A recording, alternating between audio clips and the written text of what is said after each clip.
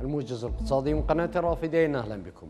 أعلنت إدارة معلومات الطاقة الأمريكية أن صادرات العراق النفطية لأمريكا بلغت أكثر من 113 مليون برميل خلال عام 2022 وقالت الإدارة إن صادرات العراق من النفط الخام ومنتجاته لأمريكا خلال عام 2022 بلغت 113 100 مليون و13 و941 ألف برميل مرتفعا بنسبة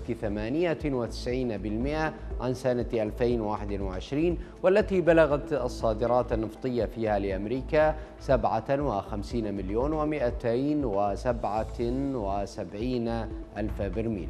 وأضافت أن أعلى المعدلات الصادرات النفطية لأمريكا خلال العام الماضي 2022 كانت في شهر تموز حيث بلغت 16 مليون و611 ألف برميل فيما كانت أقل معدل للصادرات النفطية لشهر آذار حيث بلغت 6 ملايين و330 ألف برميل. استحوذت شركة أرامكو السعودية على حصة 10% مما يعادل مليار سهم في الشركة الصينية البتروكيماويات رونغ شينغ في صفقة تقدر قيمتها بثلاثة مليارات وستمائة مليون دولار. وذلك بهدف توسيع نشاطها في الصين. وأوضحت الشركة أن الصفقة تشمل تخصيص 480 ألف برميل من النفط الخام يوميا إلى مصفاة رونغ شينغ للبتروكيماويات في مقاطعة تشيغانغ الشرقية على مدى 20 عاما وفقا لبيان صادر عن الشركة الصينية. وأضافت أرامكو أنها ستقدم ائتمانا قدره ثمانية أو 800 مليون دولار لشركة رونغ شينغ للشراء. ارتفعت أسعار الذهب مع تراجع الدولار على الرغم من أن تحسن الرغبة في المخاطرة. بعد جهود المنظمين لتهدئة المخاوف بشأن النظام المصرفي العالمي حدت من جاذبية المعدن كملاذ آمن. وارتفع سعر الذهب الفوري بنسبة 0.2% ليصل إلى 1958 دولارا للأوقية.